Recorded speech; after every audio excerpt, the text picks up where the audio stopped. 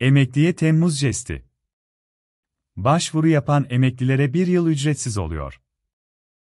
Emekliler maaşlarına gelecek olan zammı 3 Temmuz tarihinde öğrenmişti. Ancak emekliler bu yıl ara zam konusunda çok fazla istediklerine sahip olamadı. Durum bu şekilde olunca bazı bankalardan emekliye güzel jest haberleri gelmeye başladı. İşte detaylar. Özel bankalar arasında olan ING yepyeni bir kampanyayı emekliler için duyurdu.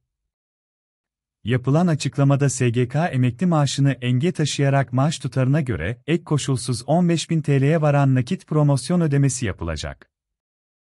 Yapılan açıklamada talimat veren ve ilk defa ING kredi kartına başvuran emeklilerden ilk bir yıl için kart ücretinin alınmayacağı açıklandı. Emekli maaş müşterisi olan Angli emekliler için sunulan avantajların detayları belli oldu. Banka, resmi web sitesi üzerinden yaptığı açıklamasında otomatik fatura talimatına 3000 TL'ye varan ek nakit promosyondan yararlanmak isteyen emekliler için güzel haber verdi. ING Bank açıkladı. Maaşlarını enge taşıyan emekliler için yapılan açıklamada şu ifadeler kullanıldı.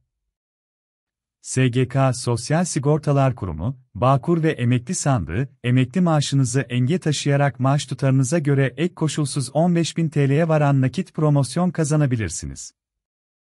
Ayrıca otomatik fatura talimatınıza 3000 TL'ye varan ek nakit promosyondan yararlanarak toplamda 18.000 TL'ye varan nakit promosyon kazanabilirsiniz. Yeni emekliler ve EYT ile emekli olanlar da emekli maaş promosyonundan yararlanabilirler. Kampanyanın detayları belli oldu. Emekliler için yapılan açıklamada maaş müşterisi olanlar için kampanya avantajları şu şekilde sıralandı. Dijitalden gerçekleştireceğiniz para transferi işlemlerine masraf ödemezsiniz. %3,84'ten başlayan faiz oranıyla ihtiyaç kredisi kullanabilir. 3 ay boyunca turuncu ekstra plus avantajlarından puan toplama koşulu olmadan yararlanabilir. İlk defa ING kredi kartı başvurusu yaptığınızda, ilk bir yıl kart ücret ödemezsiniz. Kampanyadan yararlanmak isteyenler için promosyon ödemelerin 31 Temmuz 2024 tarihine kadar devam edeceği belirtildi. Bankanın kampanyayı uzatıp uzatmayacağı henüz bilinmiyor.